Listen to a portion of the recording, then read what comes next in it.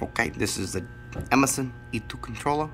We're gonna go into select how to check our suction groups and uh, condenser whatnot. So I'm gonna come down here, gonna hit F1. You see how that lining goes up the suction. F2 goes up the condenser. Okay, so I'm gonna hit F1. And I'm concerned with rack A right now. I wanna make sure rack A is running correctly.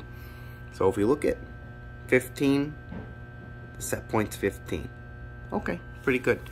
Now I'm gonna come down here, I wanna go to the condenser. I wanna make sure the condenser is running properly, okay? A, temperature 84.